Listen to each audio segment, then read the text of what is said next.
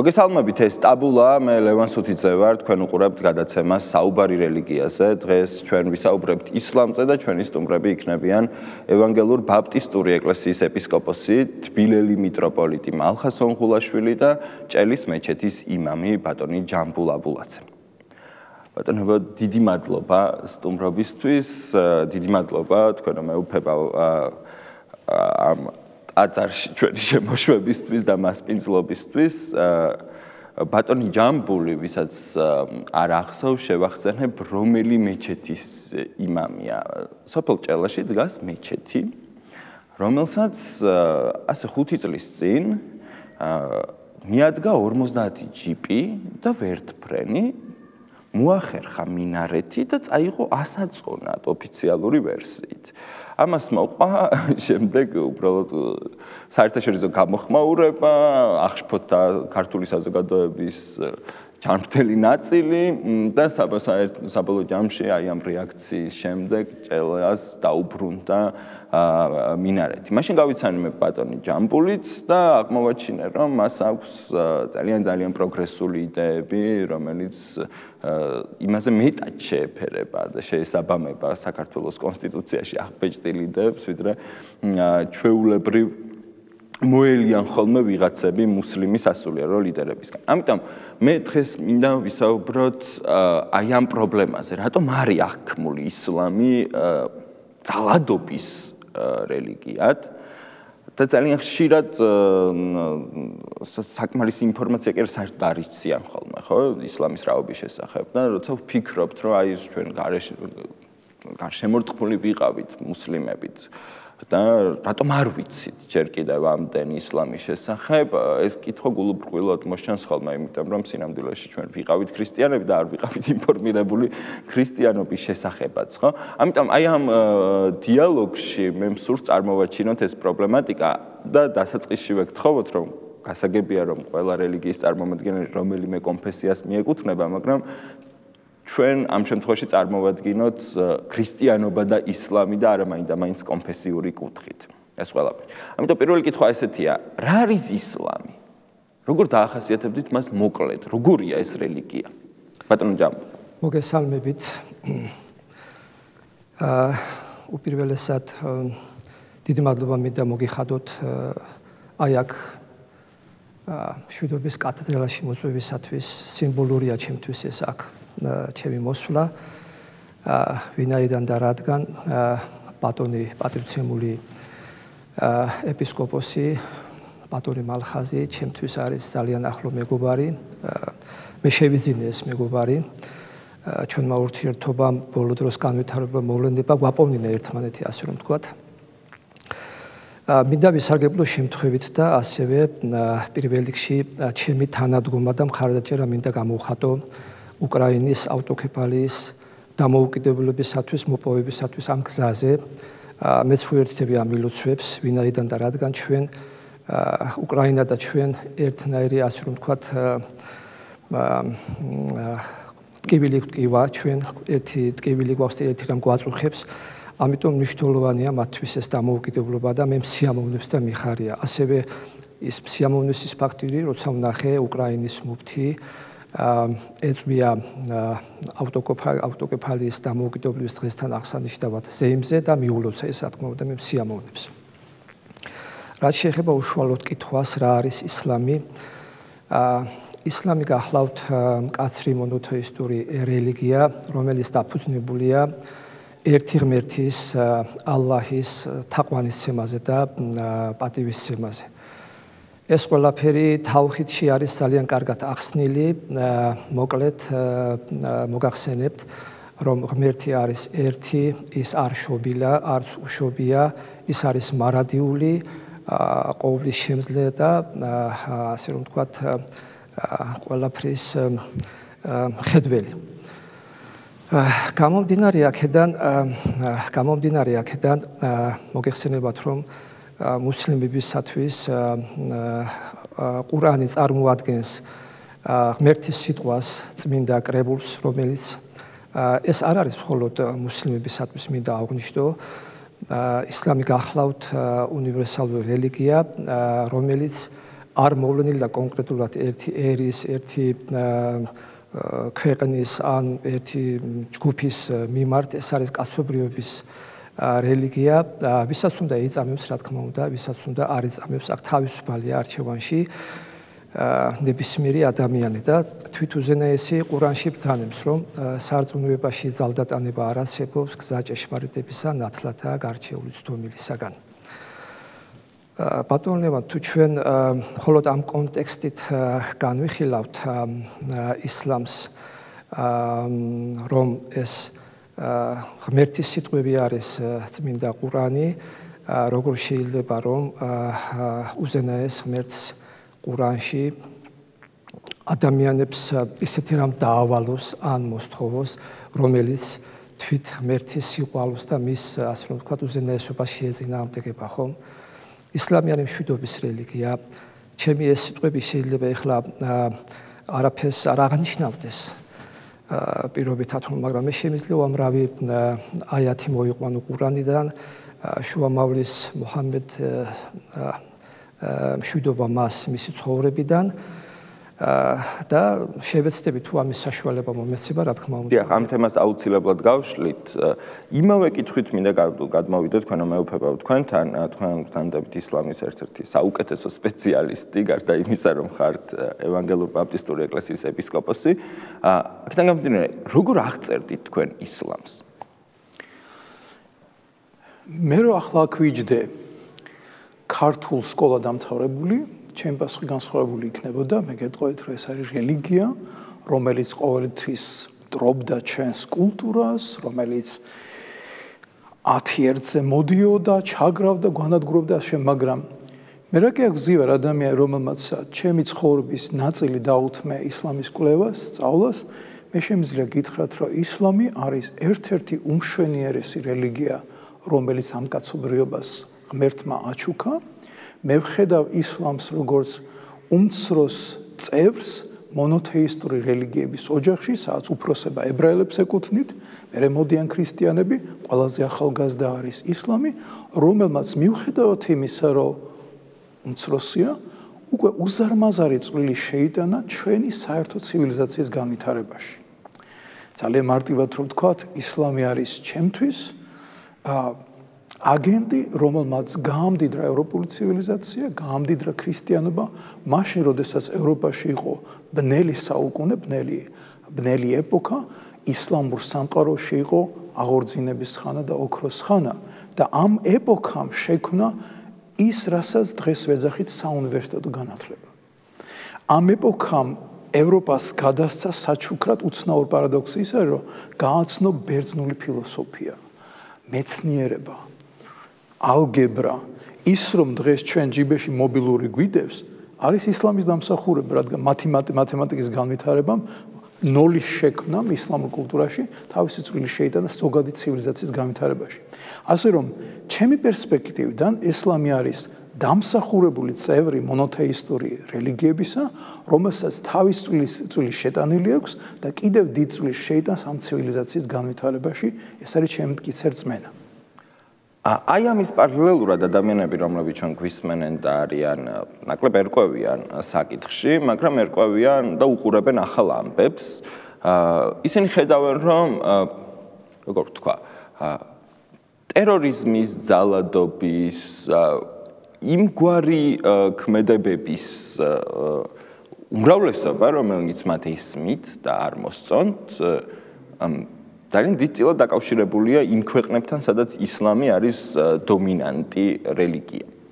აქედან გამომდინარე, ბუნებრივად ჩნდება კითხვა, ხომ არ არის ამ რელიგიაში რაიმე ისეთი, რომელიც თქვა იძლევა ამგვარად ინტერპრეტაციის საშუალებას. რომ ის უნდა იყოს შეუწყნარებელი, რომ ის უნდა იყოს ბრუტალური, თუნდაც გენდერული ნიშნით, თუნდაც რელიგიური ნიშნით, აღარაფერს ვამბობ სექსუალურ ორიენტაციაზე და ასე შემდეგ. აქედან გამომდინარე, აი ეს ამ ამ კითხვებს როგორ უპასუხებდით? რატომ ხდება ასე? თქვენ მეუფებოდ თქვენიდან დავიწყო. კი ბატონო. ა მე წეგანს ვახსენე რომ ისლამი არის შედარებით ახალი რელიგია, მონოთეისტური რელიგიების, აბრაამული რელიგიების ოჯახში. ის გადის თავისი განვითარების იმ ეტაპს, რომელიც ქრისტიანობას გავლილი აქვს კიდე 100, კიდე 200, კიდე 300 წლის წინათ. ამას ერთვის ის, რომ აქ არ არსებობს ერთი კონკრეტული მიზეზი, რის გამოც შეიძლება თვალშისაცემი იყოს ძალადობის სხვადასხვა ფორმით გამოვლინება ისლამში და ანდა ტერორიზმის ასოცირება ისლამთან დაკავშირებით. ეს არის გზა, რომელიც ისლამს გასავლელი აქვს, ისლამი უსათუოდ გაივლის, მაგრამ ჩვენ თუ გავიხედავთ გასულ საუკუნეში, რამდენი სისხლი აქვს დაღრული ქრისტიანულ სახელმწიფოებს, ქრისტიანული სახელმწიფოების წინააღმდეგ, თუ ერთი საუკუნით გადავალთ, რა ომები იყო გამართული, ჩვენ რა თქმა უნდა ვაღიაროთ, რომ არ არსებობს რელიგია, რომელსაც რეპუტაცია ჰქონდეს შეულახავი და არ იყოს შებღალული იმ უკუღმართი გამოვლინებებით, როგორც არის ძალადობა, სისხლისღვრა, იქნება ეს ისლამი, იქნება ეს იუდაიზმი, იქნება ეს მეუფება. თქვენ ახსენეთ, რომ როცა ისლამს ედგა ოქროს ხანა, მაშინ ევროპულ ევროპაში იყო ბნელი შუა საუკუნეები. ანუ რაღაც მომენტში თუ ისლამია ეს უმცროსი ძმა მონოთეისტური რელიგიების იყო უფრო წინწასული ვიდრე ქრისტიანული კულტურა. როგორ მოხდა აი ასეთი დაღმასვლა ქვევით და ასეთი აღმასვლა მაღლა, იმიტომ რომ ჩვენ ხედავთ რომ დასავლური ცივილიზაცია რომელიც იწილად ქრისტიანული კულტურაზეა აღმოცენებული, ხო? და მის შიგნით განვითარებულ იდეებზე ახლა ბევრად წინა, როგორც ეკონომიკურად, ტექნოლოგიურად და ასე შემდეგ, ხოლო ის სახელმწიფოები, რომლებიც ასე ვთქვათ, დომინანტ რელიგიას წარმოადგენენ, ასე წარმოადგენს ისლამი, ან იმართებიან რელიგიური კანონებით, არიან რბილად რო ვთქვათ, ვერ ეწევიან აი ამ განვითარებას. კი ბატონო, აქაც რამოდენი მიზეზი არის. მე-14 საუკუნის ცნობილი მუსლიმი ისტორიკოსი, ფილოსოფისი იბ ხალდუნი გვეუბნება ამის მიზეზს. რადგან ეს არის ეპოქა, როდესაც უკვე გაჩნდა პირველი ბზარები მონოლით ისლამის მონოლითურ გეოპოლიტიკურ სივრცეში და ხალდუნის დაკვირვება არის ძალიან ძალიან შთამბეჭდავი. ხალდუნი გვეუბნება რომ ის გვთავაზობს ტერმინს ასაბია არაბულად რაც ნიშნავს სოლიდარობას. სოლიდარობის დაკარგვა ოჯახში, მისი ლოგიკა ასეთია. თუ ოჯახში დაიკარგა სოლიდარობა, ეს ოჯახი სუსტდება. თუ სოლიდარობა ასაბია დაიკარგა ქალაქში, სოლიდარობა კლებულობს და ეს ქალაქი ეცემა. თუ სოლიდარობა იკარგება სახელმწიფოში, ეს სახელმწიფო ეცემა.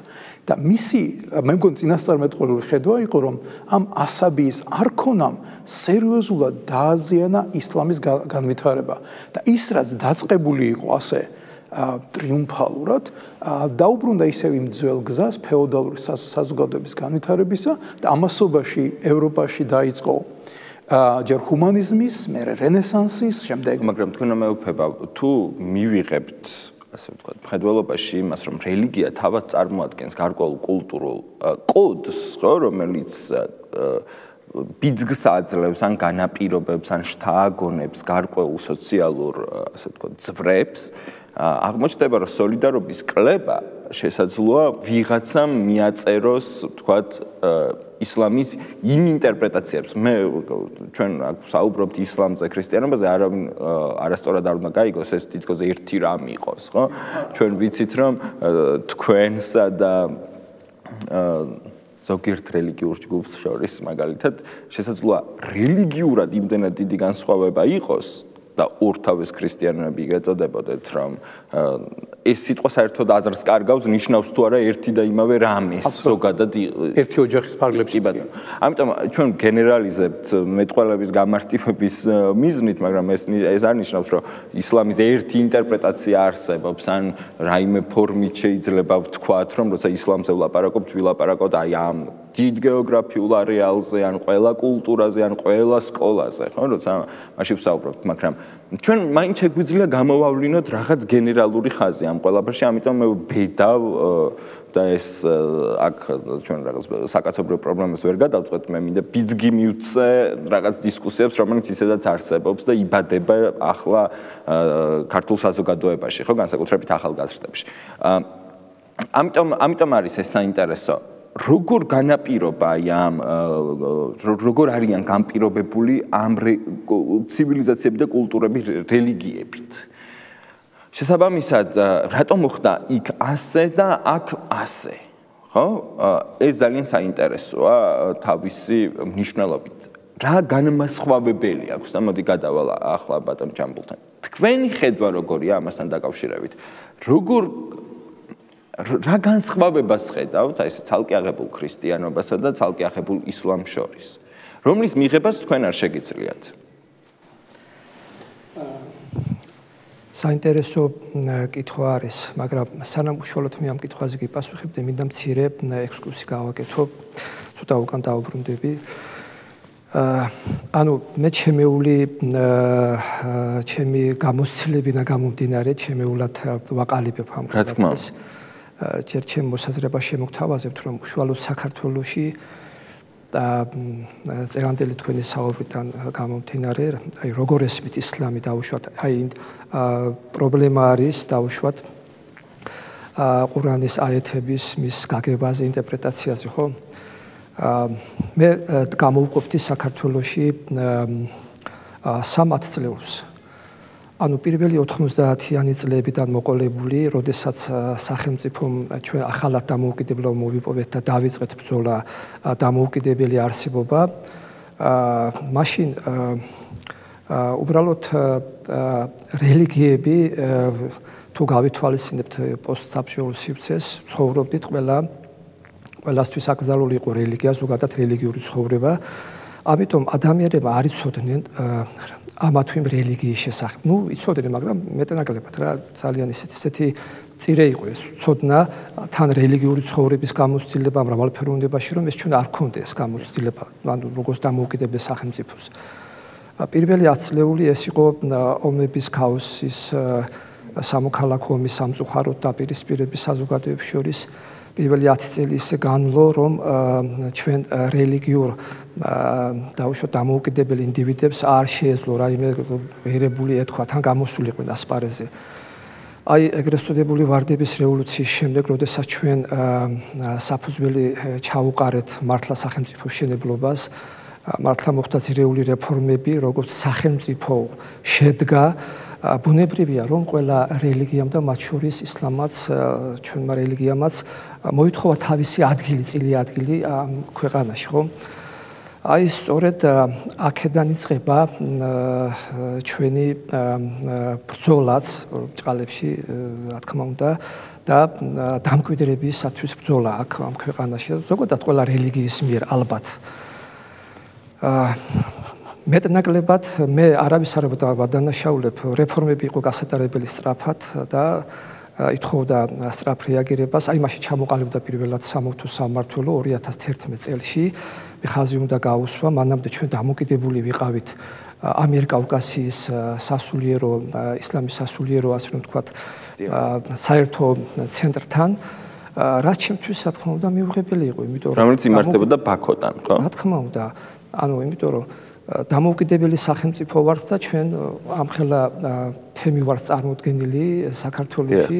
რა თქმა უნდა გვეკუთვნის რომ ჩვენ დამოუკიდებელი ჩვენი ის კონდეს რა თქმა უნდა ჩვენ დავაზუსტებს მაყურებლისთვის ყოველი მეათე მოქალაქე საქართველოსი არის მუსლიმი. დიახ. ა და აქედან გამომდინარე აქედან გამომდინარე ეს რეფორმები განხორციელდა ა ჩამოყალიბდა სამართო სამმართველო სამწუხარო ჩვენ არ მიგვიღია ამ ჩამოყალიბებაში მონაწილეობა. ეს მოხდა ძალიან სწრაფად სპონტანურად გადაწყვიტეს რომ უნდა ჩამოყალიბებოდა ჩამოყალიბებულიყო და მიიწვიეს ჩვენგანაც რამოდენიმე სასულიერო პირი აა რა თქმა უნდა ეს ყველაფერი აა ცოტა მიუღებელი ფორმითაც მოხდა იმიტომ რომ ეს ადამიანები ვერ გამოხატავდნენ ჩვენს ნებას და ვერიცავდნენ ჩვენს ვერ ამობდნენ ჩვენს სათქმეს ასე რომ ვთქვათ. ну მესამე ათწლეულზე გადავიდეთ 2012 წლის შემდგომ ესე იგი ახალი ხელისუფლების სრულიების შემდეგ ჩვენ იმედი ქონდა რომ განხორციელებოდა ამ კუთხით რეფორმები და ადამიანებს ჩვენ მოგვეცემოდა საშუალება ჩვენ თვითონ გავზღუროთ ამ სამართო სამართლოს მე ამით რისი თქმა მინდა რომ ჩვენ ვერ მივიტანეთ ჩვენ საქართველოს ჩვენ ქვეყანაში ჩვენი რელიგია ისლამი საზოგადოებასთან ვერ აუხსენით თუ რა არის ეს. რელიგია რას წარმოადგენს და შესაბამისად არსებობს კითხვით ნიშნები, რომელსაც თქვენ აღნიშნავთ და საუბრობთ, ხო? დიახ. აი ეს განსხვავებული ინტერპრეტაციები, განსხვავებული შეფასებები, მე ერთ პატარა მაგალითს მოგიყვანთ, ახლა დაუბრუნდები თქვენ დიახ. თქვას პატარა მაგალითს მოგიყვანთ. როდესაც შუამავალს მუჰამედს მშვიდობა იყოს მასეთ, პირველი აეთები ჩამოევლინა მას თავარანგელოზის მეშვეობით. აა შეშინებული იყო ის. აა ის გრძნობდა რომ დიდი მისია დაეკისრა ამერთისაგან და პირველი ვისაც გავამხილი ეს იყო მისი მეუღლე და აი მას უთხრა რომ აა აი როგორ უნდა გავაკეთო ეს, როგორ უნდა შევძლო ეს. მოგეხსენებათ მაშინ არაბეთში აა ბედუინების ასე ვთქვათ ველური ბედუინების ეპოქაში მოუწია მას ცხოვრება და აი როგორ უნდა აუხსნა ადამიანებს ეს რელიგია. აა თვით თავად ღმერთმა დაამშვიდა ფასი შუამოვალი და შემდეგი აეთი გარდმოევლინა, სადაც ნათლად წერია. და მე თქვენ კითხვას პასუხცემ ამ აიათით რომ მუჰამედ შენ დავალებული ხარ ადამიანებს ჩემი სიტყვა მიიტანო მათ დამი, ანუ მათამდე და დანარჩენი უძღი მე ყველაფერი, ხო? დღეს გავრცელებული ინტერპრეტაციები რომ ჩვენს ვიღაც პიროვნებები თუ ადამიანები სხვათა შორის სამწუხაროა ეს ყველაფერი თავის თავზე ღებულობენ. ძალიან დიდ ტვირთს რომ თავად წვეტენ ხოლმე აი ისეთ საკითხებს რომელიც მათ არ ევალებათ ხო ჩვენ მხოლოდ ქადაგებას ვართ დავალებული ჩვენ მხოლოდ სიტყვას ვართ დავალებული. იქ არანარი იზოლება ზალდატანება არ არსებობს რა თქმა უნდა. და აქედან გამომდინარე ის მცდარია რა თქმა უნდა ის განშტოები რომელიც ისლამი ჩამოყალიბა და შემდგომ და ანუ ვიღაცა ფიქრობს რომ ისლამი აი ძალათ უნდა მოახიოს ვიღაცას თავზე აი ვიღაცას და შეაშინოს აი ტერორში უნდა ყავ რა თქმა უნდა ეს ყოველას წარმოუდგენელი ეს. მე ერთ პარალელს გავალებ ნებართვით და დავასრულებ. აა როდესაც აა თბილისში სამწუხაროდ აი 17 მაისს გულისხმობ აი აქ მიტინგი რო დაარბიეს აა მაშინ ახალციხეში ერთ-ერთ შეხვედრაზე კითხვა დამისვეს რომ აი თქვენ სასულიერო პირები, მუსლიმი სასულიერო პირები, რატომ არ უდგიხართ გვერდით ჩვენს მამაოებს და არ აპროტესტებთ აი ამ ესე ვთქვათ ცუდ წამოწყებას. აჰა, მე მაშინ ასეთი პასუხი გავეცი რომ ზალადობა ისლამში მიუღებელია. ის ფორმა რომელიც გამოხატეს იქ ადამიანება ჩვენთვის მიუღებელი იყო რა თქმა უნდა. ვაღიარებთ ჩვენს და ვამბობთ რომ ისლამი ისლამისთვის მიუღებელია ეგრეთ წოდებული მამათმავლობა და ის ფორმა, რომელსაც აპროტესტებს ადამიანი, მაგრამ ზალადობის, ზალადობას გამოვრიცხავ ჩვენ. როგორ შეიძლება ადამიანს ადამიანი იძულებით ვაიზულოთ, რომ სვანაირი გახდეს? აი ბატონო ლევან, თქვენ ჩემზე მაღალი ბრძანდებით სიმაღლით ფიზიკურად, მე უფრო დაბალი ვარ, ხომ?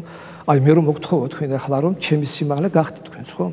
ანუ ეს ხო ყველაფერი ღმერთის ნება, რომ არ დომებოდა ღმერთს ის ადამიანები ისეთი არ იქნებოდნენ, ხო? ანუ ჩვენ მხოლოდ უნდა მივიტანოთ სიტყვა და უთხრათ მათ და აუხსნათ ამ ადამიანებს, რომ როგორია რელიგია, წმენა და ასე შემდეგ. ანუ მე ეს პარალელი იმიტომ გავავლე, რომ აა ძალადობა არ არის არავის არც ერთი რელიგიის ექსკლუზივი. კატეგორიულად ისლამი და აქედან გამომდინარე ფაქტის სახეზია, რომ ჩვენ ადამიანებს ძალადობით ვერ შევცვლით.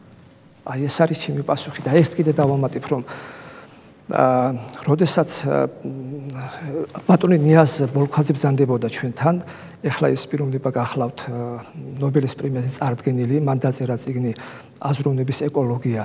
ჩვენთან იყო მაგ წიგნის განხილვა პრეზენტაცია ჩამოვზანდა ჩვენთან ბატონი ნიაზი და მან ასეთი ფრაზა თქვა იქ რომ აა შეხვდა ერთი რადიკალი ასე რომ ვთქვათ მუსლიმი და რაღაცას ამტკიცებდა თავის და მე შეკითხვა დავუსვი მას და უთხარი რომ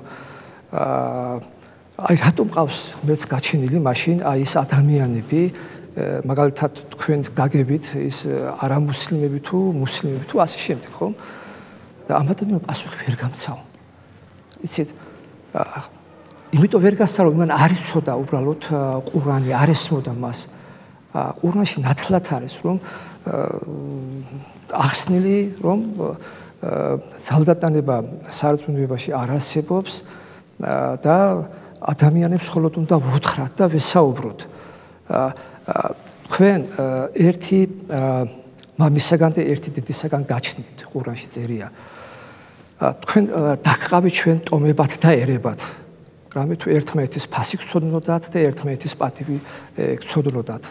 აქედან გამომდინარე ღმერთი თავად ბრძანებს რომ ეს იგი სხვადასხვა მრავალფეროვნება არის ამ ქვეყანაში ვისაც უნდა და რაც უნდა იმას იწამებს რა თქმა უნდა ჩვენ მხოლოდ ვიტყვით ამას და გადავცემთ ძალიან დიდი მადლობა.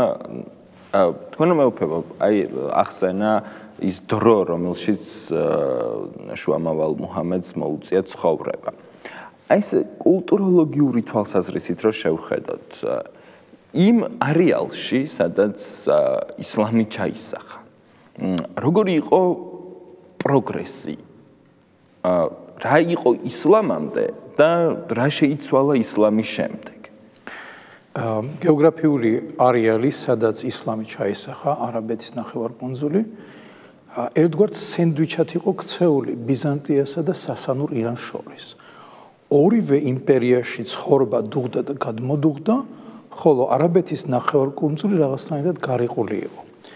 აჯერ კიდე ადრინდელი მუსლიმი იბნი შაკი, ისტორიკოსები იბნი შაკიდან დაწყებული გვეუბნებიან, რომ ის გარემო, სადაც ისლამი ჩაისახა, სადაც პირველად გადმობძანდა ყურანი, ხირას მთაზე, იყო სოციალურად, პოლიტიკურად და ეკონომიურად უაღრესად მძიმე მდგომარეობაში.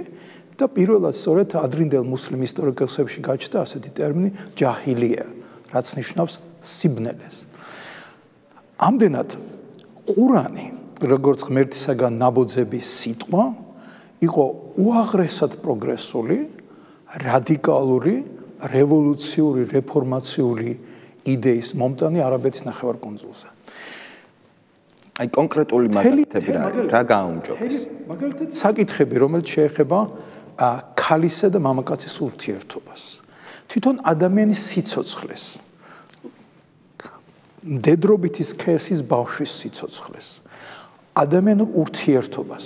ეს ყველაფერი იმდენად დამძიმებული იყო, რომ ეს გახდა მიზეზი მუჰამედის შიდობა იყოს მასზე ეგზისტენციალური წუხილის მიზეზი, რის გამოც ის გადის უდავნოში და ერთ-ერთ უდავნოში გასვლის დროს სწორედ მას გამოეცხადება ჯიბრაელი და პირველი სურა გადმოვა, რომელიც ითხოვს წაიკითხე, წაიკითხე, წაიკითხე და ამით იწყება ამ ყურანის გადმოსვლა, რომელიც განსაკუთრებით მექას ეპოქის სურები არის გაჯერებული სწორედ სოციალური სამართლიანობის საკითხებით.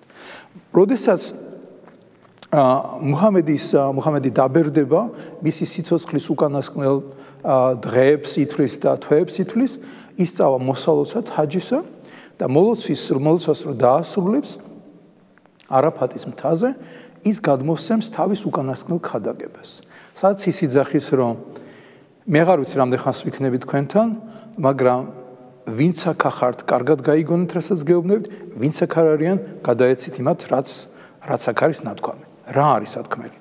და ამ უკანასკნელ ხადაგებაში წინასწარმეტყველისა თავმოყრილი არის ეს სოციალური, კულტურული, პოლიტიკური რევოლუციისა манифеסטי, რომელსაც წარმოადგენს ყურანი და რომლის ეპიდემიასაც წარმოადგენდა თვითონ წინასწარმეტყველის ცხოვრება. მაგალითად, აქ ნათქვამია ცნობილი სიტყვები, რომ არ არსებობს უპირატესობა არაბსა და არაარაბს შორის. არ არსებობს უპირატესობა თეთკანიანსა და შავკანიან შორის. არ არსებობს უპირატესობა ქალსა და კაცს შორის.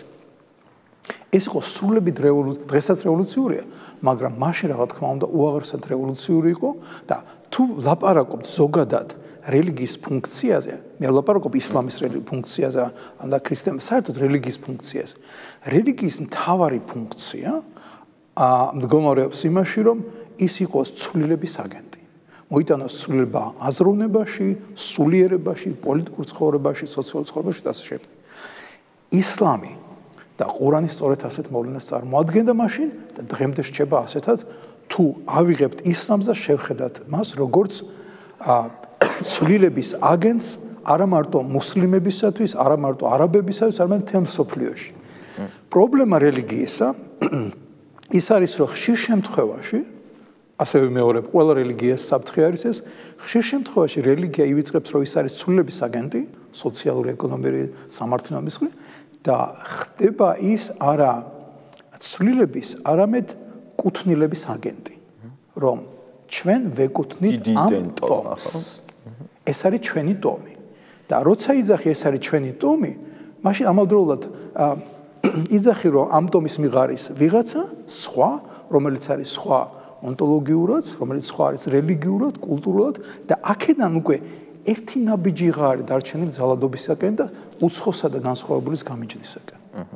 ჩვენ გარკვეულწილად მიმოვიხილეთ ეს საკითხები, მაგრამ როგორ ფიქრობთ, რა არის აქედან გამოსავალი? იმიტომ რომ სტატისტიკას, რომელსაც აი ეს ისლამოფობიური ჯგუფები იყენებენ, ხო, ადამიანები, რომლებიც და მე ძალიან მეშინ ამ გადაცემის ასე ვთქვათ, ჩანაფიქრის შთაგონება ერთ-ერთი ისეც იყო, რომ ჩვენს ქვეყანაში გაჩნდა ძალიან სეკულარული ფაშისტური ჯგუფები, რომლებიც ბევრ ამას კოპირებენ დასავლელი რადიკალებისგან, მათი არგუმენტების კოპირება ხდება და ბუნებრივია, როგორც სამწუხაროდ დაგვჩემ და კოპირება ყოველგვარი კონტექსტის გარეშე, ხო? ეს გარეშე. ეს არა მხოლოდ ცუდი იდეების კოპირებას ეხება, რა თქმა უნდა, კარგსაც ასე აკოპირებენ, ხო?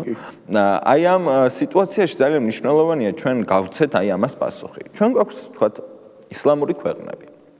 სადაც საზოგადოების კვლევა აჩვენებს, რომ ისინი ამა თუ იმ ფორმით ებხრობიან, თქვათ, ისლამის დატოვების გამო ადამიანის მოკვლას, ხო, ეგრეთ წოდებული აპოსტასიის კანონების. ემხრობიან ცოლის გამათრახებას, ემხრობიან მაგალითად თავდასხმებს, ხო, აღარაფერს ვამბობ შაჰიდებსა და თავის აფეთქებებს, ხო? გარკვეულწილად თანაუგრძნობენ. ამასთან ერთად ემხრობიან სხვა სხვადასხვა ფორმით ძალდატანებას რელიგიაში, ხო? ან ამ საზოგადოებებში რელიგიური უმცირესობები, ქრისტიანები მიჩნეული არიან მეორე ხარისხოვან მოქალაქეებად, ხო? გარკვეულწილად ეს პრობლემა მართლაც დგას, უდგას ისლამურ სახელმწიფოს, სახელმწიფოებს და ისლამურ ცივილიზაციას ზოგადად, რომ ა თუ ავიღებთ, მივიღებთ ხედველობაში იმას, რომ რასაც ბატონი ჯამბული ამბობს, ეს არის ისლამი. ისინი აბსოლუტურად მოწყვეტილან ისლამს. აა როგორ როგორ მოხდა ეს ყველაფერი ამ სისტემაში? აა როგორ დაიბადა შარიათი, ხო? მაგალითად. რატომ არის ასე შერწყმული ისლამი სახელმწიფოს? ხო? და აი აქედან თუ პარალელ აქედან მინდა რომ პარალელი გავავლოთ ძველ აღთქმაზე, სადაც ასევე უხვად ხდება აი ეს ძალადობები ოქროს პირში ჩასხმები, ვინ როგორ უნდა მოკლა და რა ვჭამოთ და რა არ ვჭამოთ. ზოგადად ამაზე საუბარი, ხო? რატომ ხდება ესას? well, but მიზეზები ამ ამის ამისა ძალიან ბევრი არის. რატო რატო რატო ღებულობთ რელიგიის რადიკალიზებას? პირველი მიზეზი ალბათ ის არის, რომ რელიგია ხდება არა ადამიანსა და ღმერთის ურთიერთობის განსაზღვრელი მოვლენა, არამედ კულტურული, ეთნიკური და ტომობრივი იდენტობისა. და რაც უფრო ძლიერდება რელიგიისა და ეთნონაციონალური იდენტობის შერწყმა, მით უფრო ძლიერდება ასევე განსხვავებების დევნა. მაგალითად, არც ერთი რელიგია ისე მკაფიო არ არის, როგორც ისლამი, როგორც როდესაც ლაპარაკი არის ძალდატანებას. ლაიკრაფიდინ არ შეიძლება რელიგია არც ერთი არც ერთი რელიგია ქრისტიანობა იუდაიზმი არ იძახენ ასე მკაფიოდ რომ არ შეიძლება რელიგიაში ძალდატანება.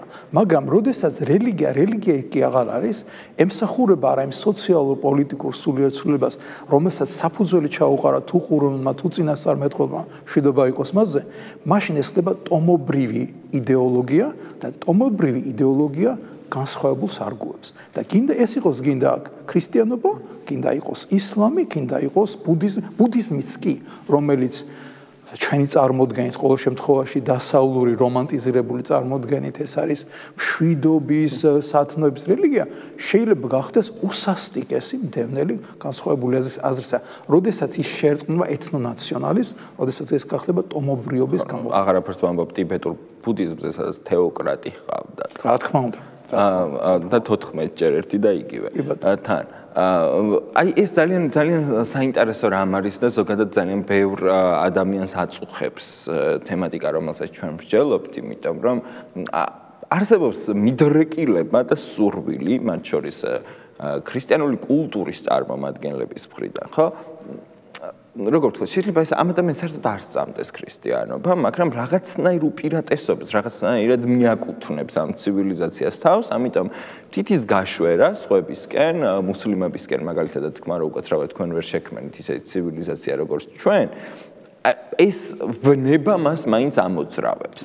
ამიტომ ძალიან მნიშვნელოვანია რაღაცების შეხსენება, ხო? მაგალითად, იმის შეხსენება, რომ ჩვენი ქრისტიანული სახელმწიფოები საერთოდ არაფრით გავდნენ ქრისტეს და არაფერი აკავშირებდათ მათ, ხო? ბევრი დღესაც აღარ ქრისტესთან. ხო, დღეს ზაღარ გვაქვს, მაგრამ ეხლა პაპო ცეზარიზმის ახალი ვერსიები ვითარდება, ხო, როცა სასულიერო ლიდერი გაცილებით ძლიერია სახელმწიფოზე და მას მისი, ასე ვთქვათ, დამორჩილება შეუძლია. ყოველ შემთხვევაში ასეთი სურათი გვაქვს დღეს საქართველოში, მაგალითად, განსხვავებით რუსეთისგან, სადაც ჯერ კიდევ ყველაფერი პირიქითაა, როცა სახელმწიფო მართავს ეკლესიას და აი უკრაინა ვახსენეთ და ჩვენ გვაქვს სიტუაცია, როცა რელიგია არის მძლავრი ინსტრუმენტი იმპერიალიზმის, ხო, აგენტი, ომის აგენტი და გამომდინარე იქიდან, რომ უკრაინაში ანტიტერორისტული ოპერაცია მიმდინარეობს ტერორიზმის აგენტიც მათ შორის ხო და ასე შემდეგ აი ამ სიტუაციაში რას ეტყოდით იმ ახალგაზრდებს ადამიანებს რომლებიც აი ესე უკიდურესი სიმპლიციზებით, უკიდურესი გამარტივებით მზად არიან ჯერ ერთი მე არ მესმის ამ ადამიანების ორი მიზეზის გამო. თუ შენ გსურ შეისწავლავ თქვა სამეცნიეროდ ყურანი და იქ ნებისმიერი წმინდა წიგნი და იქ აღმოაჩენ რომ უკაცრავად რატო არ არის ღმერთი ასეთი პირდაპირი?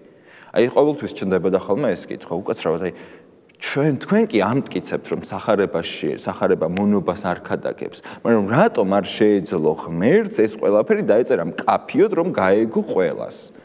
ანუ ყველას. საერთოდ ყველას, რატომ არის საჭირო ამისთვის თეოლოგიური სკოლა და აკადემია იმისთვის რომ ღმერთს როგორც სურდა ისე გამოეთქვა საკუთარი აზრი, ხო?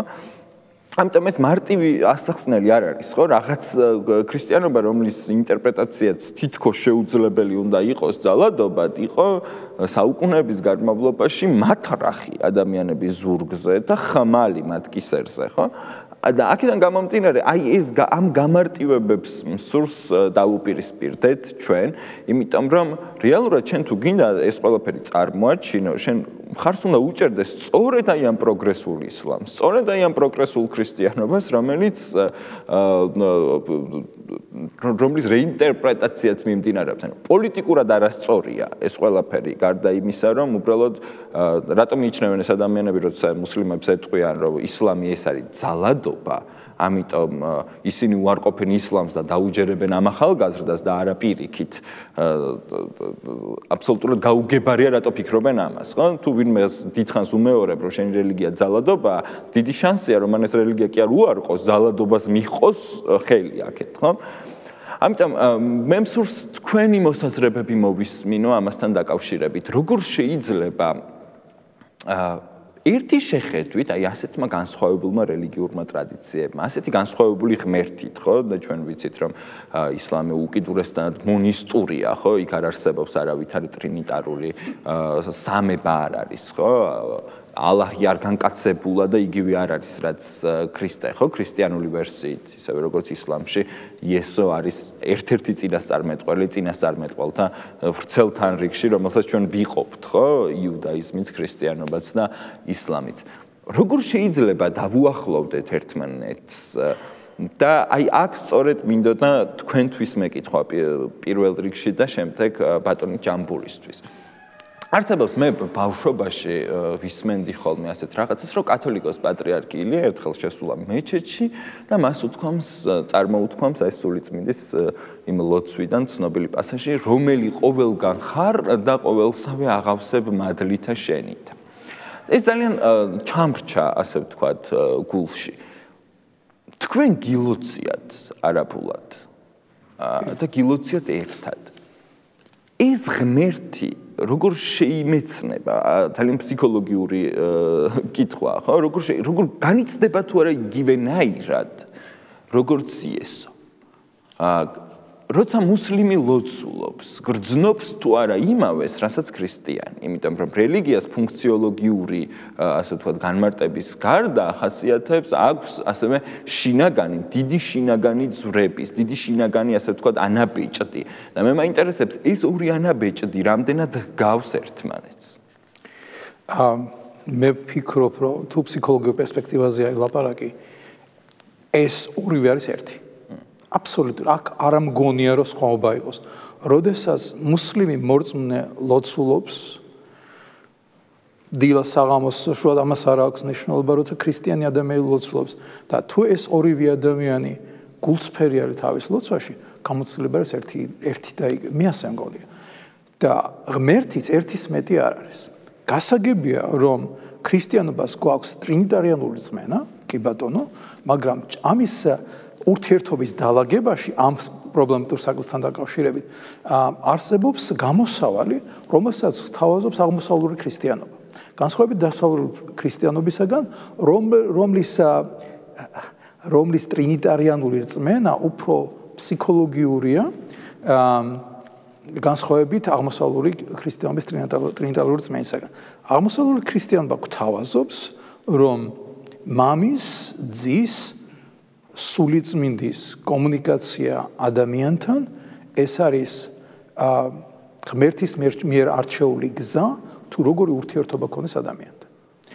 აი ეს ფორმულა რომ мама, ძე და სულიწმინდა ეს ადრე ქრისტიანული ფორმულა დევს ყურანში სურა ალ-ბაყარაში სას ნათქვამია რომ იესო არის ღმერთის სიტყვა კალამათულალა რომ ღმერთი თავის გამოვლებას პოულობს სულში და ღმერთი არის შემოქმედი. ეს არის ზუსტად ის ფორმულა, რომელიც ადრინდელ ქრისტიანებს ჰქონდათ მესამე საუკუნემდე. ზუსტად. მოგასაგებია რომ ეს კანონიკურად გაზიარებული არ იყო შემდეგ, ხო? რა თქმა უნდა, რა თქმა უნდა. მაგრამ მე მის თქმა მინდა რომ ის რასაც ჩვენ ვლაპარაკობ, დოგმატიური სხვაობები, თეოლოგიური ხედვები გასაგებია რომ თავის დროზე მნიშვნელოვანი იყო მნიშვნელოვანი იყო პოლიტიკური დავებში ბიზანტიის თელი ისტორია არის პოლიტიკური ბრძოლა რელიგიური თეოლოგიური თემების გარშემო. მაგრამ დღეს როდესაც ჩვენ ცხოვრობთ 21 საუკუნეში ჩვენ უნდა ვეძებოთ არა ის რაც განგვასხოვებს არამედ რაც რაც ჩვენ გვაერთიანებს.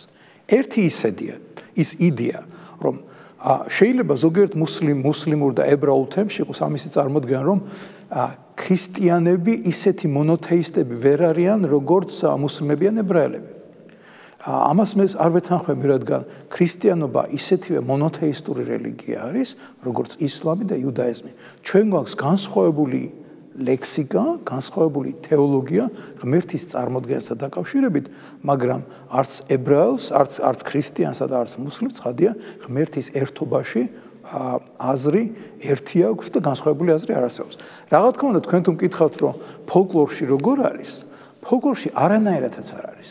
ფოლკლორში არანაირი წარმოდგენა არ არის არც სამებოზე, არც არც იმ იმ თეოლოგიურ დისკუსებზე, რომელიც ქრისტიანი. მე დარწმუნებული ვარ, რომ ახლა რო ავიღო მიკროფონი და ჩამოვიარო აი ეს ქუჩა და ყველა გამვლელ მართლმაიდებელს ვკითხო ან ქრისტიანს, ვინ არის სული წმინდა. ისინი მეტყვიან გამაოგნებელ პალიტრას პასუხებისას, რომელიც იქნება შეგვიძლია მე აღწეროთ თითოეულს RS-ის იარლიყი ასეთ ფერებად ჩამოვკიდოთ, ხო? რაღაცა მგითხრას თამარ მეფე არისო. რასაც გამართლებაც კი იქნება. კი, ღვთისმშობელი, იმიტომ რომ მამა ზედა ღვთისმშობელი, აი რაღაცნაირი ოჯახის დაწყვილებაც კი მიმდინარეობს ხოლმე. ბატონო ჯამბული, იგივე კითხვა კითხვით გადმოვალ თქვენ. თული კითხვა არის სიმართლე გითხრათ, მაგრამ შევეცდები დავაკმაყოფილო თქვენი ინტერესი ამ კითხვასთან დაკავშირებით. აა მე ასეთნაირად ვიტყოდი, რომ წმენა არის ორი სახის. ანუ შთაომავლობითი წმენა და შეძენილი წმენა. შთაომავლობითი წმენა, ანუ რომელიც მშობლებიდან ოჯახით ასე რომ ვთქვათ, ატმოსფეროში იზრდება ადამიანი, და როცა უკვე ის ყალიბდება პიროვნებად, ხედავს ოჯახში აი ამ რელიგიის გავლენას, ხო, მასე და უყურებს ამ ყველაფერს. აა მეორე არის შეძენილი წმენა, რომელიც არის ყველაზე ძლიერი და მყარი. ანუ, როდესაც ადამიანი სრულწლოვან ასაკს მიაღწევს, ნუ ეს სრულწლოვანი ასაკი შეიძლება უფრო ადრეც იყოს, შეიძლება უფრო გვიანიც იყოს, ამას ჩვენ ვერ გავსაზღვრავთ. თავად ეძებს ადამიანი და უსვამს კითხვას თავის თავს და პოულობს პასუხებსაც კიდევაც. და აქედან გამომდინარე აა ყველა ადამიანი თავისუფალი ამ არჩევანში ღმერთმა ეს არჩევანი მისცა. ვინაიდან და რადგან ყურაში ნათლას წერია რომ აი წეგანაც ვახსენე რომ მე რომ დომებოდა თქვენ ყველას ერთ ტომად გაგაჩენდით ან ერთნი იქნებოდით. ხომ? ეს თუ ანათლი მეტყველებს იმაზე რომ თავად ჩვენ კიდევ ერთხელ მოვ პატონლემა ჩვენ ისეთ კითხებზე პასუხისგაცემას ნუ ვეცდებით რომელიც ჩვენი საქმე არ არის. ანუ ეს არის უზენაესი ალლაჰის საქმე. ანუ ვინ როგორი უნდა გააჩინოს და რელიგიას არის არჩევანი. ანუ ამ არჩევანში ღმერთბაში სულ თავისუფლება მოგვანიჭა. მე ასე ვიტყოდი რომ ვისი სულით სად მოისვენებს იქ იყოს. ანუ ამით ამით ჩვენ უზენაესი ღმერთის აი იმ მითითებას უფრო სწორად შევასრულებ ჩემი აზრით ვინაიდან ვინაიდან რელიგია არის ადამიანის სულიერების ნაწილი. ეს ყველაზე ფაქიზი არ ვიცი ისეთი რაღაცა რომ სულის შესახებს ვერავინ პასუხს ვერ გაგვცემ ჩვენ. ეს ყურანშიც ახსნილია რომ სულის შესახებ ვერავინ პასუხს ვერ გასცემ. თვით ეს უზენაესმა იცი. მე სწორედ სწორედ ამის კითხვა მინდოდა, იმიტომ რომ თუ შევეცდები სწორად ჩამოვაყალიბო ახლა რას გულისხმობ. არსებობს ღმერთი, ის არ ჩანს. ის არ არის ჩვენი ყოველდღიური ცხოვრების ნაწილი, ის არ არის გამოვლენილი ამ ყველაფერში, ხო? ნუ თუ ჩვენ მივიღებთ კონცეფციას, რომ მან გააჩინა ეს სამყარო, მასზე მეტყველებს ეს სამყაროც თითოეული ჩვენთან კარგის და ასე შემდეგ. ამ ნაწილს არ გულისხმობ, ხო? არსებობს ღმერთი, რომლის შესახებ არსებობს ბევრი სხვადასხვანაირი კონცეფცია, აზრი. და ეს აზრისი გამომდინარე იქიდან, რომ თავად უხილავია, აყალიბებს მის სახეს, მის ვინაობას და მის რაობას ადამიანების წარმოქმნებში, ხო? ჩვენ, როცა თუ ავიღებთ ქრისტიანულ კონცეფციას, აქედან შევქმნით ღმერთს, ხო? ანუ პირიქით რო წარმოვიდგინოთ, მის სახეს შევქმნით, ავაწყობთ ამ მოზაიკას, აი ამ სხვადასხვა თეოლოგიური საზრისებით და მოსაზრებებით და ავიღოთ ავიღებთ ისლამს. დიახ, ჩვენ იქ შესაძლოა მივიღოთ განსხვავებული სურათი, მაგრამ აქ არის ძალიან მნიშვნელოვანი რამ. როდესაც ადამიანი ლოცულობს, ხო, ამა თუ იმ კულტურის წარმომადგენელი, თუ ეს კავშირი მართლაც მყარდება, ხო, თუ მისი მისწრაფება მართლაც მიოლტვის, რომ შემოქმედს, ასე ვთქვათ, აა კონდეს დიალოგი შემოქმედთან.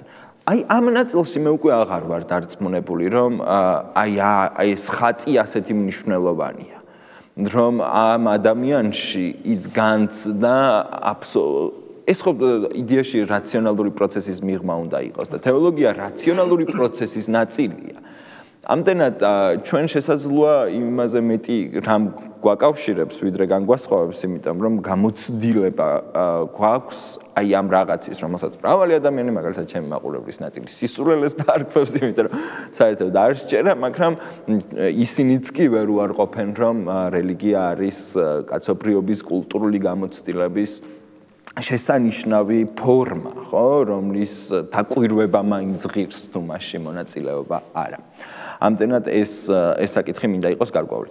ბოლო რეპლიკების დროღა დაგვრჩა. მე მესმის რომ ჩვენ ვერ ვისაუბრეთ ძალიან ბევრ თემაზე, იქნება ბევრი წუწუნი იმის ფრიდან ვინც უყურებს რომ რაღაც საკითხს რომელიც მას აინტერესებდა ვერ შევეხეთ, მაგრამ ნუ გასაგებია რომ ჩვენ დისკუსიისთვის ბიძგის მიცემა გვინდოდა. ამიტომ ბოლოს სურს აი ამ ადამიანებს დაველაპარაკოთ. ახალგაზრდებს რომლებიც მათ პირველად დაინახეს ქუთაში მუსლიმი. განსხვავებული კანისფერით. ან საერთოდ არ უნახავთ ქართველი მუსლიმი, ხო? იმიტომ რომ ადამიანები ჩადიან ბათუმში, გადიან პლაჟზე და ჩამოდიან უკან და ჩვენი ქვეყნის მოქალაქეების უმრავლესობა საერთოდ არ უნახავს ესე ცოცხალი მუსლიმი, რასაკეთებენ ისინი მეჩეთში, არა და ამ ქვეყანაში მუსლიმები არიან ყოველი მეათე 10% ქვეყნის მოსახლეობის, ხო, რომლებსაც აქვს საკუთარი რელიგიური ცხოვრება. რას ეთყოდით ამ ადამიანებს? როგორ უნდა ხედავდნენ ისინი მოსულებს? მე ასე მგონია, რომ ჩვენ შეიძლება გავიზარდოთ როგორც ადამიანები, ხოლო იმ შემთხვევაში, თუ ჩვენი კომფორტის ზონის მიღმა გავალთ. ამდენად გამოსავალი არის ის, რომ როდესაც ადამიანი მოიაზრებს არა მარტო მუსლიმს, არამედ კიდე ქრისტიანს, კიდე ებრაელს, კიდე სხვას, როგორც საფრთხეს და მის მიმართ აქვს ირაციონალური შეში, ყველაზე დიდი წამალი არის, რომ შეხვდეს, გაიცნოს, დაელაპარაკოს, ყური დაუგდოს. არა მის მოსაქცევას, არამედ იმის, რომ მისგან ისწავლოს და როდესაც მიხვალ ყურს დაუგდებ, აღმოაჩენ, რომ ისიც ადამიანია, ისიც შენაირად ფიქრობს, მასაც აწუხებს, მასაც ადარდებს და ამ ამ შემთხვევაში აღმოაჩენ, რომ ეს სამყარო გაცილებით დიდია და ფართია, ვიდრე ჩვენ წარმოგვიდგენია. აი მე ძალიან მიყვარს ერთ-ერთი აია ყურანიდან სას ნათქვა მე რომ ფაინამა თუვალო ფასამა ვაჩულაჰი საითგანაც გავიხედავ მე დავინახავ ღმერთს. იმ მუსლიმში უნდა დაინახო ღმერთი. თუ გეშინია მუსლიმს ქრისტიანში უნდა დაინახო ღმერთი თუ გეშინია და შიში არ irrational შიში გავს ქრისტიანს. ან მუსლიმ ან ან ებრაელის ან განსხვავებული ორიენტაციის ადამიანს ან განსხვავებული რასობრივი ადამიანს. შეხვდი დაელაპარაკე გაიცან იმისაც რომ აღმოაჩინო ადამიანობა თქვენ სწორებ ძანებთ რა თქმა უნდა რომ ღმერთი ა ირაციონალურში უნდა ვეძებოთ უნდა ვეძებოთ იმ სამყაროს მიღმა სადაც ეს ლოგიკა, რომელიც თუნდაც თეოლოგიაშია, უკვე აღარ არის. ამაზე ამბობდა ხოლმე რუმი, რომ მოდი ჩვენ შევხვდეთ იმ ველზე, სადაც მტერი და მოყარი არ არსებობს. სადაც ჩვენ ვართ ადამიანები და ჩვენ გვჭირდება სწორედ ამ სივრცეში შესვლა და მინდა დაგარწმუნოთ პირადი გამოცდილებიდან, რომ ჩემი ყოველი ნაბიჯი, რომელიც გადამიდგავს სამიმართულებით, რომ ჩემი კომფორტის ზონიდან გავსულიყავი, შევხედროდი იმას, ვისიც მეშინოდა და რისაც მეშინოდა, დამთავრებულად ჩემი გაზდით და აღმოჩენით, რომ რომელზე მუშენერესი არაფერი არ არსებობს ცხოვრებაში. ამიტომ ჩემი ჩემი რჩევა ეს არის. რა თქმა უნდა, აქ არის სხვადასხვა ფაქტორები, განათლება არის უაღრესად მნიშვნელოვანი, სკოლა არის უაღრესად მნიშვნელოვანი, რელიგია არის უაღრესად მნიშვნელოვანი, იმისაც რომ დაძლეული იყოს ეს ფობიები და განსაკუთრებით ის ფობია, რომელსაც თქვენ ახსენებთ, რომელიც გაჩნდა სეკულარულ საზოგადოებაში, რომელსაც შეუძლია აქილიკოს მასხარად აიგდოს. სხვა რელიგია, რომელსაც წარმოქმნა არ აქვს. არც თავისი აქვს წარმოქმნა და არც სხვაზე აქვს წარმოქმნა. აა მეუც საუბარ თავის საერთოდ არ კონდეს. შეიძლება საერთოდ არ კონდეს. მეუც საუკუნეში ყავდა ძალიან ცნობილი შვედი შვედი ეპისკოპოსი რომელმაც ძალიან საინტერესო დასკვნა გააკეთა რომ ყველაზე დამღუპველი იმისაც ადამიანი იყოს თავისუფალი ინტერრელიგიურ სივრცეში არის როდესაც ადამიანი იღებს თავისი რელიგიისა და კულტურის უარყოფდადებით და ადარებს სხვა რელიგიის უარყოფითს ეს არის ის რასაც ჩვენ ყოველთვის ვაკეთებ. ყველა რელიგია შეიძლება ქონდეს სიაღლიში, ისტორიული, კულტურული და ასე შემდეგ, მაგრამ ჩვენ გვაქვს შანსი რომ თუნდაც ამ პაწაწინა ქვეყნის ფარგლებში ავაშენოთ ჰარმონიული საზოგადოება, სადაც ყველას ეცოდინება და შესაძლებლობა ექნება პატივისცეს და დააფასოს მრავალფეროვნება და განსხვავებულობა. როდესაც ბატონი იმამი ლაპარაკობდა აი მე ეტაპებზე რომელიც საბჭოთა კავშირის დანგრევის შემდეგ გაიარათ ქართულო მუსლიმმა თემა, აქ არ შეიძლება არ აღნიშნოთ ერთი საკითხი, რომ ის 90 90-იან წლებში ქართული მუსლიმები წავიდნენ უცხოეთში, ისწავლეს სასწავლებლებში, დაბრუნდნენ განათლებულები. ოღონდ ეს განათლება არ არის მარტო ყურანული ან და თეოლოგიური განათლება, მათ ისწავლეს საერო საგნებიც. ჰარმონიულად განვითარებული ადამიანები დაბრუნდნენ ჩვენს ქვეყანაში. პირველი იყო მე მგონი თუ არ ვცდები შემისწორეთ, ქემალ ცეცხლაძე იყო, რომელმაც მიიღო სოლიდური განათლება. დიდხანს იყო უცხოეთში, ჩამოვიდა აქ, ჩადგა თავის ხალხის ხალხის სამსახურში. დარიელ ნიკელაძე იყო, დარიელ ნაკაიძე იყო, რომელმაც დღემდე დღემდე ეს ერთგულებით ემსახურებიან ჩვენ საზოგადოებას. ჩვენ გაგვიმართლა რომ ყავს ქართველი მუსლიმები, რომლებსაც აქვთ ასეთი განათლება. ჩვენ ასევე გაგვიმართლა, რომ ყავს შიიტი სასულიერო პირები საქართველოში, აზერ ეთნიკური აზერბაიჯანული წარმოშობისა, რომლებიც ასევე პროგრესულად მოაზროვნე ხალხი არის. შეიხი ასადოვი, რასიმ რასიმოვი, ეს არის თაობა ახალგაზრდა სასულიერო პირებისა, რომელიც პროგრესულად აზროვნებენ ესმი დღევანდელი საზოგადოების ავკარგიანობა და უნდა თავიანთი წვლილი შეიტანონ ჩვენ საზოგადოების ცხოვრებაში. ჩვენ გვჭირდება კულტურული ნება, პოლიტიკური ნება, რომ იმ ხალხებს ერებსა და ეთნოსებს შორის, რომლებიც საქართველოში არსებობენ, დამკვირდეს ჰარმონიული თანაარსებობა, რომელიც ხელს შეუწყობს და განავითარებს ჩვენ საზოგადოებას ზოგადად. ამის გარეშე წინ ვერც აი მე მჯერა იბნ ხალდუნისა რომ თუ არ იქნება ასაბია სოლიდარობა საზოგადოებაში ამ საზოგადოებას მომავალი არ აქვს. აა არსებობს ღმერთის სამსახურის სამი გზა. ანუ შიშზე დამყარებული, გასამჯელოზე დამყარებული და სიყვარულზე დამყარებული. სიყვარულზე დამყარებული სამსახური აერთიანებს შისსაც, მოგზალებასაც, პატივისცემასაც და ყველაფერს ერთად აღებულს. აა სხვადასხვა კონფესიებთან, სხვადასხვა რელიგიის ამსარებლობ ადამიანებთან თუ საერთოდ რელიგიის გარეშე გარეთ მყოფ ადამიანებთან ურთიერთობა ნათლად ჩამოაყალიბა ჩვენმა შუამავალმა თავისი ცხოვრების წესით და დაგვიტოვა ჩვენ კაცობრიობას. თუ გადავხედავთ მის ცხოვრებას, აა მშვიდობა იყოს მასეთ და მის იგულო ცხოვრობდნენ ებრაელები, აა არაბი კეფთაყვანისმცემლები, საერთოდ რომ რელიგია არ გააჩნდათ და ის ამ ადამიანებთან ცხოვრობდა ძალიან მშვიდად და ძალიან კარგად. და დაგვიტოვა მაგალითები თუ როგორ უნდა ვიცხოვრო ჩვენ აი ამ მრავალფეროვნებაში ბატონ ლევან აა თუ შენ ხედავ რომ შენი მეზობელი შიერია და შიერი იძინებს და შენ ეს იცი შენ როგორც მუსლიმს ის ღამე რომ შენ დაიძინო და გაათვიო და იმას საჭმელი არ მოუტანო საკვები და არ მიართვა შენ მუსლიმად არ იწოდებიო და თავისი ხელით მიქონდა საკვები მუჰამედ შომავალს ებრაელებთან, კერთაყვანიფსებლებთან მიუხედავად იმისა, რომ ისინი არიზიარებდნენ თავის ქადაგებებს, ხო? ეს ნათელი მაგალითია ბატონ ლევან ამისა, რომ კიდევ ერთხელ უბრუნდები იმას, რომ ბატონო მარხაზმა სწორედ აღნიშნა, რომ რომ თქვენ ყველანი ხართ სავარცხის კბილები თანასწორი. აა ფერატკანიანს, შავკანიანის მიმართ, შავკანიანს, თეთრკანიანის მიმართ არანაირ უპირატესობა არ გააჩნიათ. აი, დავფიქრეთ მეგობრებო ამ სიტყვების მნიშვნელობას, დავფიქრეთ, ყველაფერზე პასუხცემს. თქვენ შორის უპირატესი დია დღეს ამ ქალაქში, ქალაქის ცენტრალურ ქუჩებში. დია. თქვენ შორის უპირატესი არის მხოლოდ ის, ვინც ყველაზე უფრო მოკრძალებულია თავისი ღმერთის წინაშე. აი, მე დღეს ბატონი ვარ მიმყოფები აი მშვიდობის კათედრალში. ბატონი მალხაზის თამასტუმრად. ეს ჩემი სახლივით არის, ოჯახივით არის. ჩემი ღმერთი ჩემს გულში აშენებს, ჩემს არსში არსებობს. მე არანაირი დაბკოლებას არ მიქმნის ნებისმიერ ტაძარში მივალ, ნებისმიერ ტაძარში ვილოცებ, როგორც მე მინდა და როგორც ჩემი სულს მოესურვება ისე ვილოცებ. და ჩვენ მე და მალხაზი პატონი მალხაზი მაგალითს ვაცლებთ ადამიანებს, რომ აი ამ მრავალფეროვნებაში უნდა ვიცხოვროთ.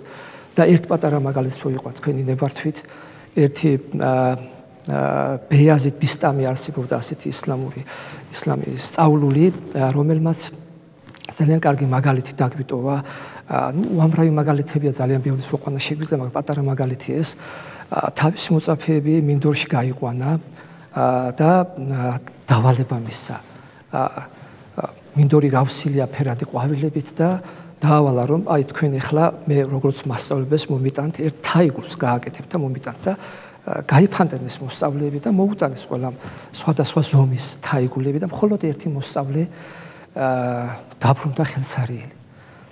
აა და მასწავლებმა შეეკითხა რომ თქვენ რატომ დაბრუნდით ხელსარიელი? რა ამ ხელა მინდორში ვერ ვერ ნახეთ ყვავილები, ნახეთ ავსილია მინდორში უთვალავი ყვავილი. რატომ ვერ მომიტანეთ თქვენ ეს საჩუქარი? დიახ, მასწავლებელო გასაპასუხი ამ მოსწავლემ. დიახ მასწავლებელო ყვავილები არის ძალიან ბევრი, მაგრამ როდესაც აა დავინახე მე სილამაზე, ჩემ თავს ვერ მივეცუფლება რომ მომეკვდინებინა ის და თქვენთვის მომეტარა და მომერთმია, ვინაიდან ყველაფერი ლოცულობს, მე ვხედავდი რომ ის ლოცულობს აი ღმერთის წინაშე და აა თვალებინაც რემლები წამოვიდა მასწავლებელს და უთხრა, ხოლოდ ერთი მოსწავლე გამიზდიხარ თქვენ აი სწორედ ამ სიყვარულით უნდა შევხედოთ ჩვენ ამ ქვეყანას და მეულანა ჯალალედი რუმიმ ყველაზე მეტად გამოაჩინა ისლამის სიყვარულისა და მეგობრობის გზა. მე ჩემი ეს პირადი სუბიექტური აზრი გახლავთ, იმიტომ ძალიან ბევრი სწავლულები იყვნენ ისლამში და ზოგადად ჩვენს რელიგიაში, მაგრამ ჩემი აზრით მან ყველაზე მეტად გამოაჩინა ისლამის ის შუამავლის ის სიყვარულის და მეგობრობის გზა.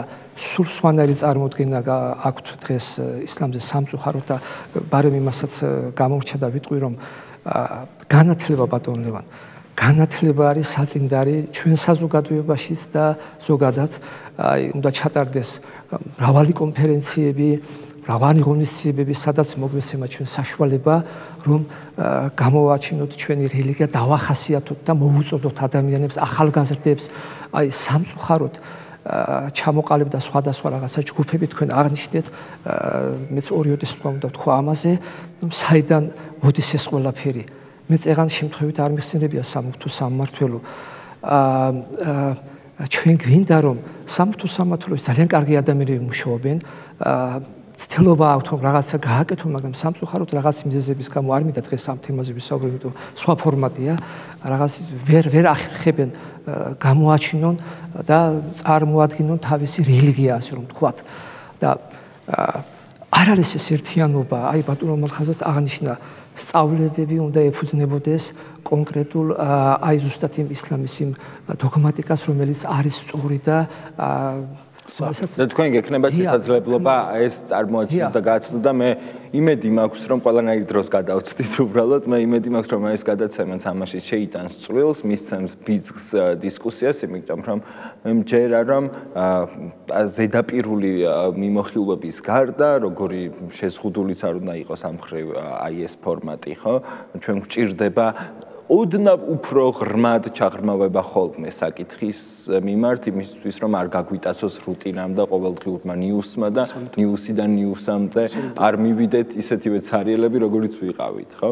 ამდენად დიდი მადლობა მინდა გადაგიხადოთ აქ სტუმრობისთვის იმისთვის რასაც რელიგიური მშვიდობისთვის აკეთებთ და იმისთვის რასაც ადამიანის ინტერესისთვის აკეთებ, ჩინაგანი ინტერესისთვის, რომელსაც რომელიც მას ჭირდება იმისთვის, რომ შეიმეცნოს, გაიაზროს და იგრძნოს აა გარემომცველი სამყაროთა ის შესაძლო შემოქმედი, რომელიც ვიღაცას წამს და ვიღაცას არ.